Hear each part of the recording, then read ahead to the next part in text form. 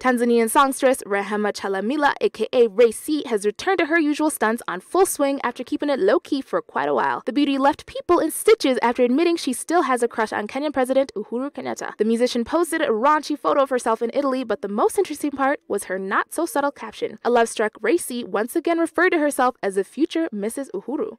Then she went ahead to say her dreams are valid and her infatuation probably stems from her love for Kenya. The beauty has always admitted she would love to one day walk down the aisle with Kenya's leader and often refers to herself as the president's better half.